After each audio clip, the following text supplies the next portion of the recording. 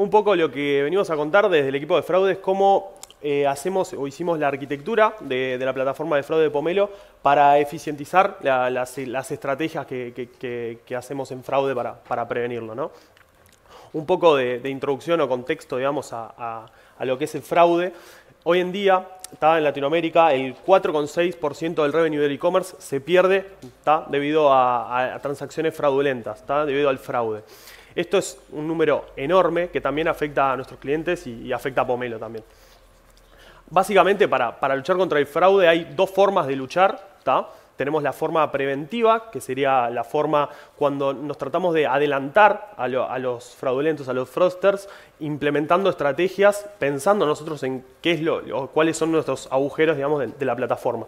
Y después está la reactiva, que sería la, forma de que, bueno, inevitablemente eh, fraude nos van a hacer porque los, fraudulentos siempre están buscando todos los, huecos en la plataforma, entonces nosotros tenemos que salir a parchear y arreglar esos, esos fraudes en, tiempo real, digamos.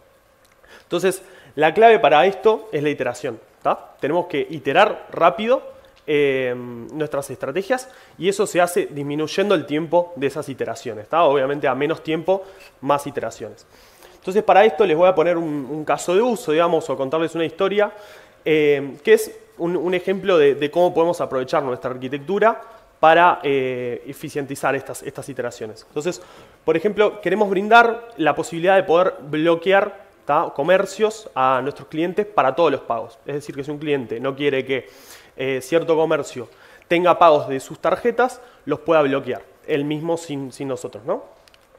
Y aparte, queremos también bloquear por 24 horas a esos comercios que tengan muchos pagos rechazados. Esto sería como una especie de bloqueo dinámico, digamos.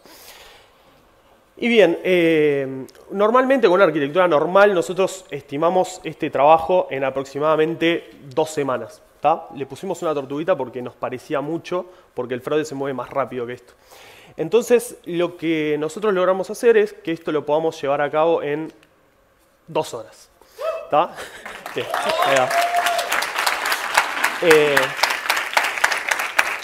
bueno, entonces ahora un poco es contarles cómo, cómo está dispuesta la arquitectura de fraude para lograr ese, esa meta, digamos.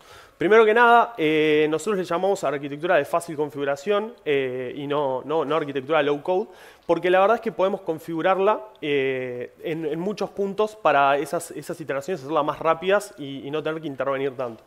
Entonces, primero que nada, en Pomelo tenemos muchos procesos como los que vemos acá, que eh, tenemos procesamiento de pagos de tarjeta, tenemos también eh, cuentas bancarias, tenemos issuing de tarjetas y también eh, procesos de compliance, ¿no? de prevención de lavado de dinero, puede ser, o, financiamiento del terrorismo. Todos esos, esos flujos críticos de Pomelo se conectan a fraude mediante el orquestador. Tenemos un orquestador que es el encargado de hacer un routing de eventos, ¿está? Y de los flujos de, esto, de, estos flujos críticos en, eh, de forma dinámica. Eso también, el, orquestador es lo suficientemente inteligente para eh, orquestar todo de la forma más óptima posible. Eso nos permite ahorrar pila de tiempo a la hora de, ejecutar la prevención de fraude y le da más tiempo después a nuestros clientes y nos permite como generar más datos. Después tenemos la, parte superior que vemos acá, es la parte de los data points o son, digamos, los, eh, son servicios que nos proveen datos a la orquestación de Pomelo y a, la prevención de fraude. Primero que nada tenemos, nos conectamos con todas las APIs internas de Pomelo para obtener pila de información de eso. Y eh, también tenemos una API interna que desarrollamos en fraude, que es la API de marcas de entidades ese servicio lo que nos permite es marcar, por ejemplo, usuarios o tarjetas para eh, después poder usar esas marcas en, nuestros flujos. Y después tenemos eh, un servicio que genera acumulados históricos. En fraude tenemos como la frase, dime tu, histórico y te diré quién eres, eh, que básicamente es, es muy fácil detectar fraude o detectar que un usuario es legítimo si tenemos el histórico de ese usuario, de las tarjetas que maneja. Entonces, esta API nos permite, con cálculos en milisegundos, traer datos de años o meses de antigüedad de los usuarios. Después, una vez que tenemos las, las, entidades y los data points, tenemos lo que son los resolvers, que nosotros llamamos resolvers aquellos servicios que saben interpretar toda esa recolección de datos que hicimos y pasan a eh, ejecutar eh, ciertas reglas o pueden ser modelos que nos dicen al final si esa transacción o ese flujo de, ese, momento puntual tiene que ser aprobado o rechazado. Y por último, también tenemos eh, procesos que pueden ser asíncronos o sincrónicos con lo que es la evaluación de fraude, que nos permiten ejecutar acciones a posteriori después de una evaluación, que podemos de vuelta volver a marcar entidades para ayudarnos en flujos internos, podemos persistir los datos o incluso podríamos eh, enviar remedies o challenges para poder recuperar con ayuda del usuario em, transacciones que normalmente se perderían. Una cosa no menor es que nos impulsamos o nos ayudamos mucho de lo que es la tecnología de Go, el lenguaje de programación Go, para todo lo que es la performance y el paralelismo, digamos, en toda esta plataforma. Esas son las APIs que tenemos en Go. Y también estos son los servicios que nosotros decimos que son de fácil configuración, que básicamente son los servicios que podemos tunear eh, en caliente, digamos. Eh, volviendo un poco al caso de éxito que íbamos a presentar, nosotros queríamos brindar esta, posibilidad de bloquear comercios y bloquear dinámicamente comercios. Para ese, tipo de, para ese caso de uso, nosotros en un, flujo normal pasaríamos por etapas de diseño, creación de infraestructura, implementación, testing, después pruebas aparte, y aparte también tendríamos una carga operativa del cliente contactándose para bloquear esos eh, comercios. Eso implicaría tiempo de CX, eh, tiempo con operaciones. Y eso eh, es lo que involucraría todas estas dos semanas y aparte para cada cliente, para cada comercio que se quiera bloquear, habría un, tiempo también. Entonces, ¿cómo hacemos para bajarlo a dos horas? Ahora vamos a ver bien el ejemplo paso a paso. Primero que nada, habíamos visto la API de, etiquetados, el servicio de etiquetados. Nosotros con un simple post podemos crear una etiqueta nueva que sea blocked, que la vamos a aplicar a los comercios y nos disponibiliza eh, automáticamente un endpoint, que es el que está en rojito, que es el endpoint que vamos a eh, disponibilizar a nuestros, a nuestros clientes. O sea, nosotros hacemos un post interno en Pomelo y crea un endpoint para nuestros clientes. De ese modo, tan fácil, el cliente puede cargar la lista de sus comercios bloqueados tranquilamente y cuando él quiera. Después también tenemos la API históricos. ¿no? Podemos hacer un post y nosotros configurar qué histórico queremos traer. Acuérdense que queríamos saber el, histórico de un día de pagos rechazados por comercio. Entonces, básicamente lo, que mandamos en el post es estos datos. Les decimos, bueno, eh, queremos todas las autorizaciones, la cuenta de todas las autorizaciones por comercio que cumplan la condición de que el estatus de esa transacción sea rechazado. Y le ponemos un frame de, de horas de 1 a 24. Eso nos va a traer ese, numerito tan deseado para, la regla. Esto obviamente lo podemos configurar para otros casos de uso de distinta forma. Y bueno, un poco eh, yendo a, lo que sería el flujo, nosotros por defecto tenemos el orquestador, iría contra las reglas solamente con, los datos que tenemos.